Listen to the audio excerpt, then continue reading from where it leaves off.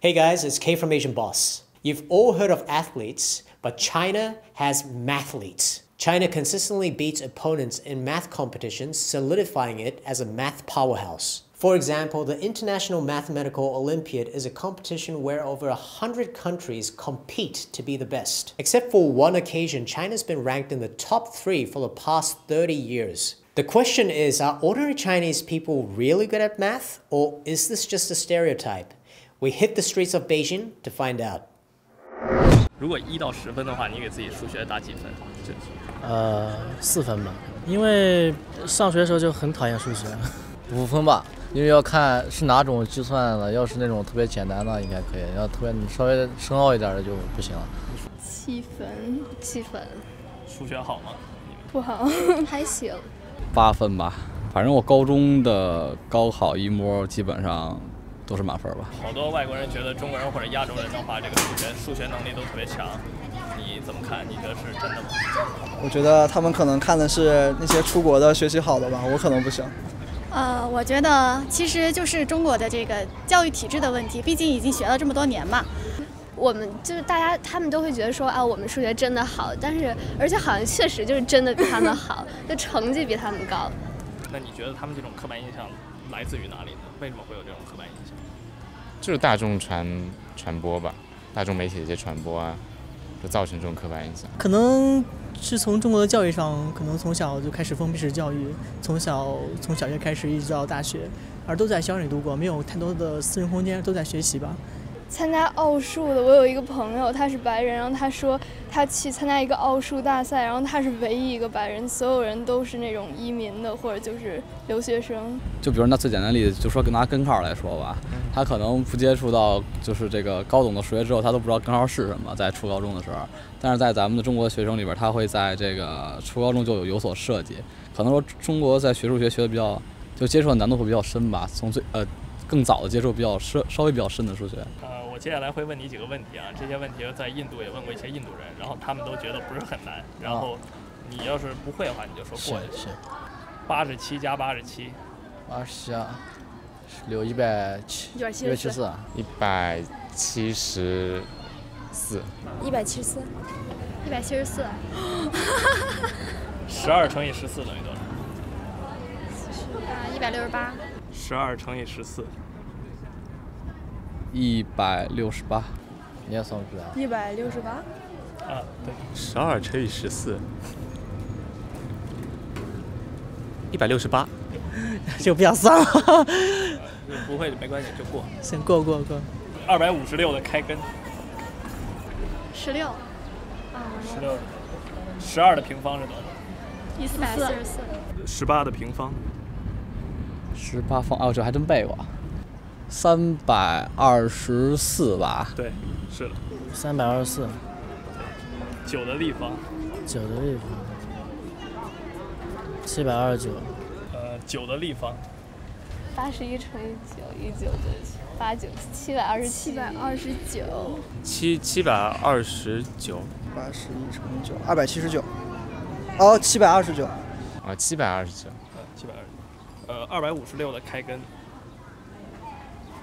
十十六，十二的平方，一百四十四，九的立方，七二九，二百五十六的开根号，十六，十二的平方，幺四四，我靠，这这么厉害！就你觉得这些题还是相对没有那么难？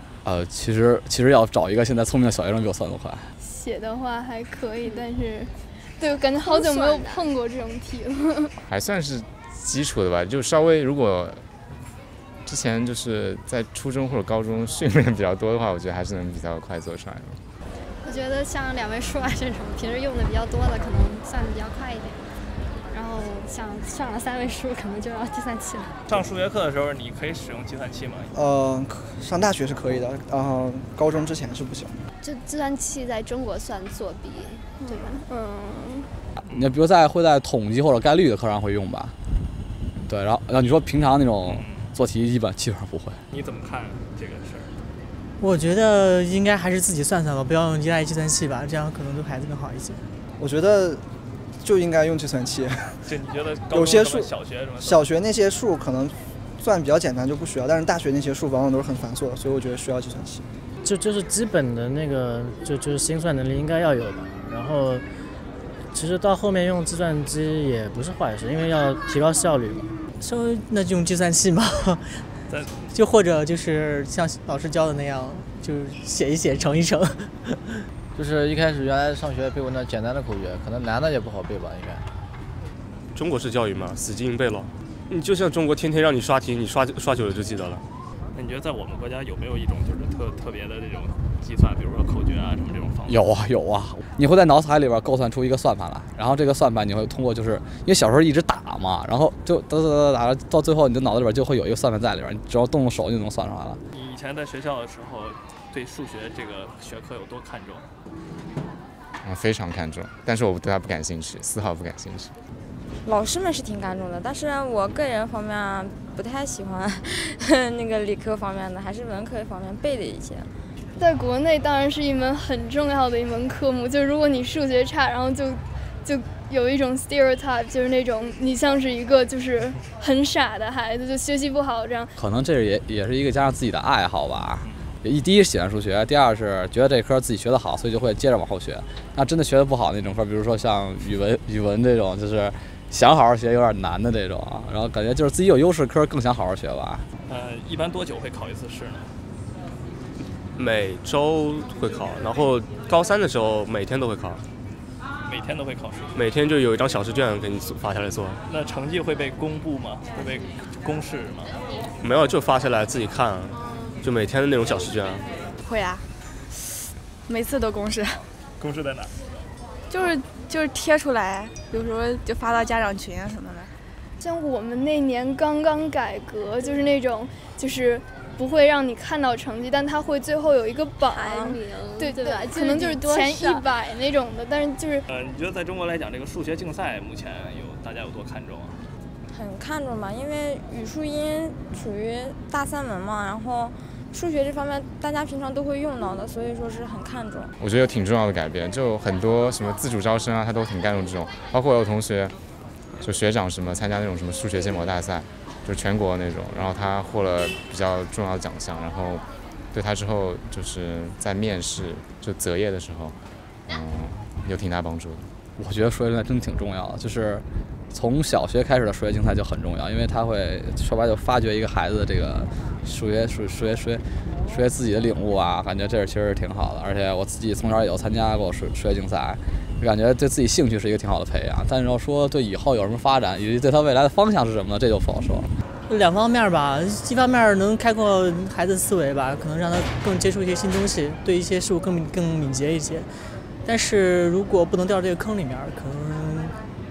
太过用力的话，可能可能有比较死板吧。啊，为什么中国的这个现在的这个教育啊，中国这个社会现在还是比较重视这个数学教育？数学不是那种逻辑要学，让人都学的是逻辑思维吗？你以后干啥，他跟数学都应该脱离不了关系，应该多少都会接近一下。所以说，他们必数学是还是要必须要学的。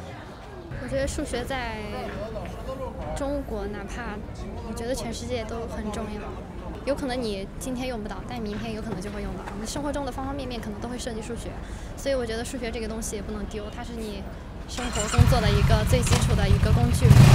如果说语文是教咱们这个文化方面的话，那我觉得数学就是一个逻辑方面上的一个训练吧。数学是一个训练逻辑最基本的一个学科，它是在所有学科的基础，它是所有学科的基础。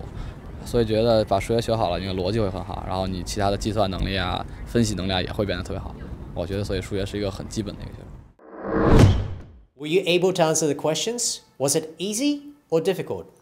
Let us know in the comments below. For more authentic insight into the latest news and cultural trends from all over Asia, be sure to subscribe to Asian Boss and follow us on our social media. Thanks for watching, and as always, stay curious.